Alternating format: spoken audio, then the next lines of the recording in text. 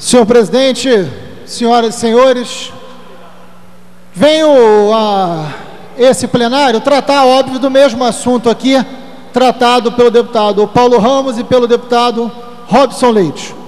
Senhor presidente, primeiro, alguns esclarecimentos, deputado Roberto Henrique, que preside essa sessão, que são esclarecimentos fundamentais. Eu recebi, na semana que passou, no meu gabinete dois pilotos da Polícia Civil, pilotos de helicóptero. Essa é uma informação certamente nova para muitos. Foram dois pilotos da Polícia Civil que me procuraram no gabinete dizendo: temos um material para entregar para o senhor, formalmente. Formalmente. Não foi entregue de forma sigilosa, não foi entregue de forma oficiosa oficialmente, por escrito. Do, então, a denúncia veio de pilotos da própria Polícia Civil, oficialmente, que não concordaram. Pilotos esses, inclusive, que a gente vai ter que prestar muita atenção, porque essas pessoas estão sendo perseguidas nesse momento por terem feito essa denúncia. E eu estou aqui publicamente alertando isso. Essa denúncia não vem dos chamados direitos humanos, não vem de setores. Não, a denúncia veio de dentro da polícia de dois pilotos que oficialmente entregaram esse material. E o material é o material oficial da gravação feita pelo helicóptero da Polícia Civil numa ação que já tem um ano. É verdade, mas as imagens, fato é, só apareceram nesse momento.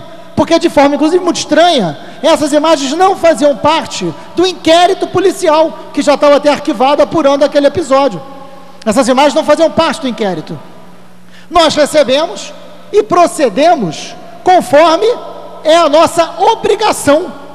Você recebe uma imagem dessa, ou oficialmente, vinda de, da própria polícia, o que, que fizemos?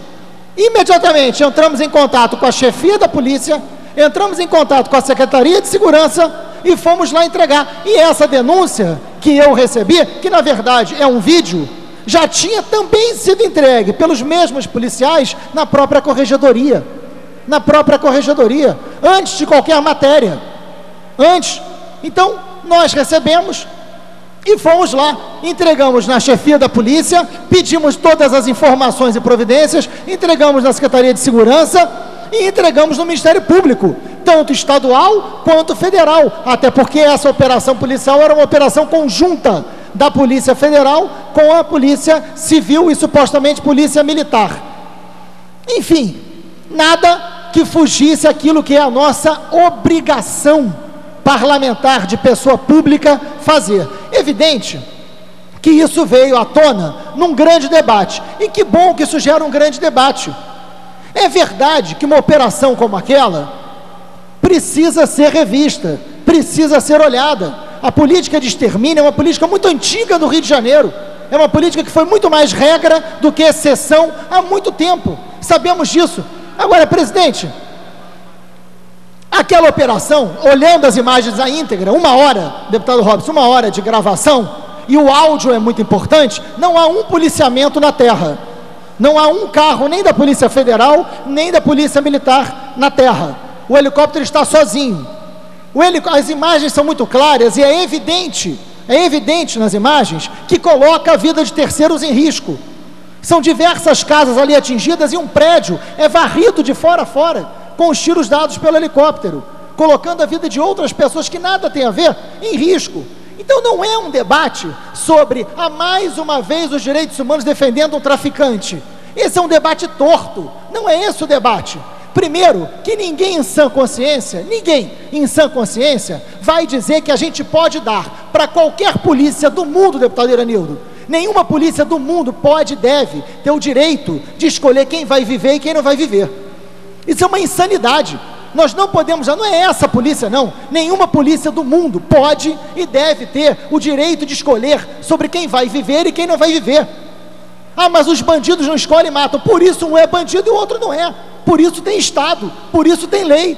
Por isso que o que estamos defendendo é que tenha controle sobre as ações de quem responde pelo Estado de que tenha controle legal e de que haja ali conforme interesse público. Porque hoje mata um traficante, amanhã pode matar qualquer outro, porque lhe demos o direito de escolher quem vive e quem morre.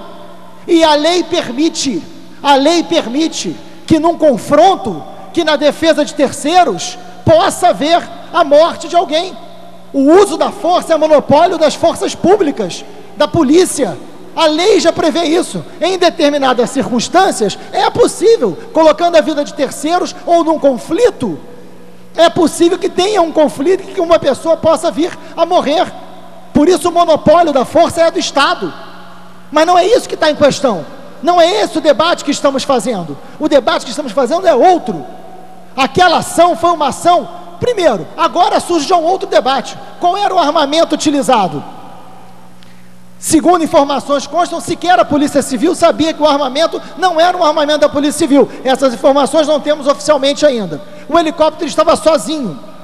O helicóptero age e nitidamente pelas imagens, ele não está se defendendo, até porque para se defender, o melhor seria sair daquela região, o melhor seria sair daquele lugar, até porque estava muito vulnerável. Mas não, há uma clara ação de execução. Mas esse é um debate que a gente tem que travar. Porque, enfim, era um traficante e aí, por ser traficante, qualquer ação da polícia se legitima. Então, é o perfil da vítima que define se a ação da polícia é legal ou não é. Não podemos fazer isso. E não tem aqui ninguém defendendo o traficante A, B ou C.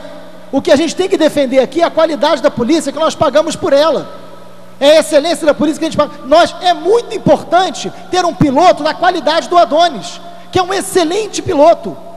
Um piloto reconhecido internacionalmente. É muito importante ter um profissional da qualidade dele. É muito importante ter um equipamento técnico de filmagem para serviço da Polícia Civil. É muito importante o investimento na polícia, mas é muito importante que tudo isso esteja a serviço do interesse público e controlado e definido por lei. E que a gente saiba perfeitamente como está sendo operado. É disso que estamos tratando. Não se trata aqui de uma pauta de defesa de um traficante ou outro, não. O bandido e é verdade, o tráfico é cruel, o tráfico é violento, o tráfico massacra a vida nessas comunidades, mas o Estado não pode competir com o tráfico de quem é mais violento.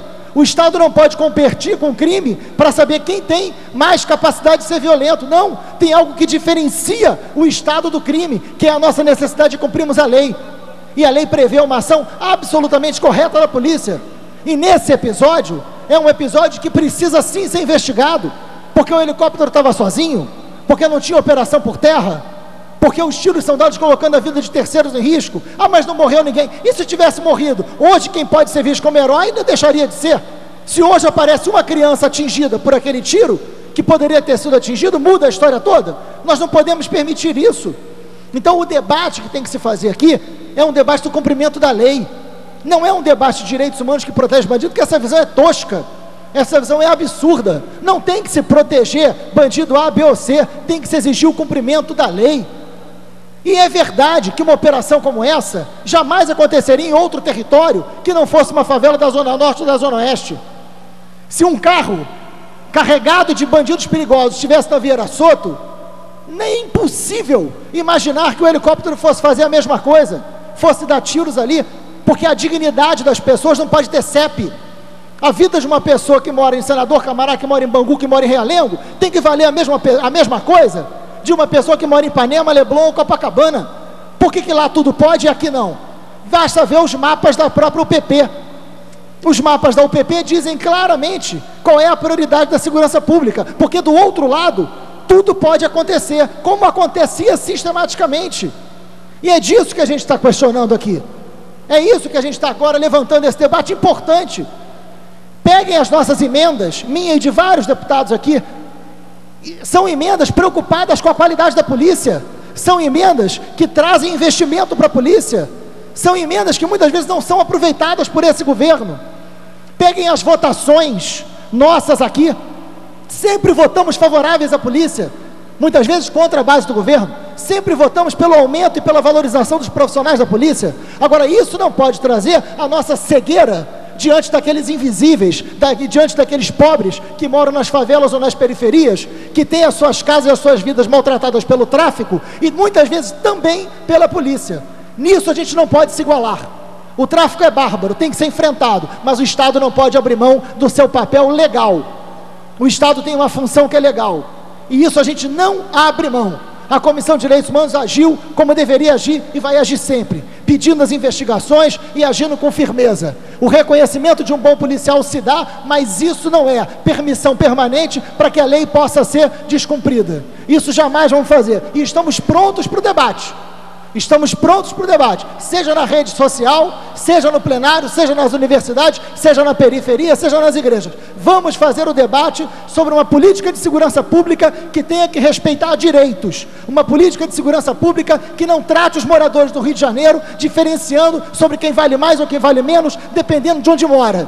É muito fácil uma visão elitista que diz que a polícia tinha que matar, tinha que fazer, tinha que acontecer, porque isso acontece no território do outro, porque isso acontece na favela, porque isso acontece na periferia e não é a sua casa que está sendo atingida.